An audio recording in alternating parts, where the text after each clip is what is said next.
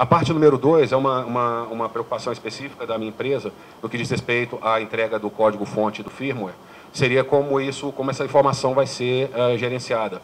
Em que cofres elas vão ser guardadas, qual o nível de segurança disso, quem terá acesso a essa informação, porque, uh, qual tipo de garantia que será dada sobre essa informação que, que eventualmente estaria uh, depositada na custódia do governo. E, e, e, e qual, qual, com quanta visibilidade, com quanta frequência a gente vai ter visibilidade do que, que vai estar sendo testado no código-fonte e, na, e, na, e no firmware, as atualizações. Como vocês mesmos falaram, é algo, segurança muda todo dia praticamente. Então, em qual, em qual a frequência que isso vai estar sendo, o código e o firmware vai estar sendo checado.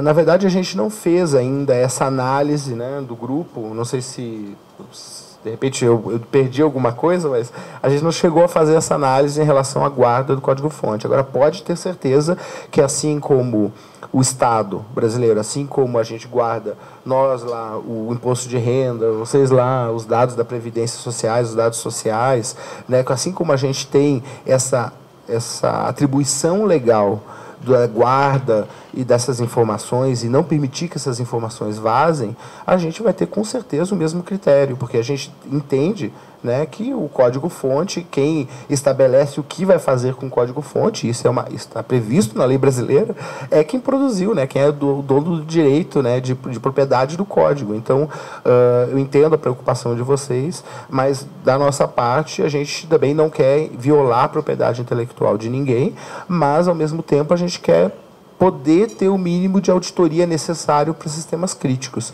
Então, acho que esse, esse esse balanço a gente ainda vai ter que encontrar. Né? Eu acho que é importante essa preocupação e talvez uh, sugerindo aí para para a proposição de vocês, que a gente recebeu uma proposição sobre isso, não sei se foi de vocês mesmo da Cisco, acho que foi, né? Essa proposição de vocês veio muito com a preocupação. Ok, mas objetivamente, o que, que a gente poderia fazer? Talvez isso poderia ajudar a gente a evoluir a norma.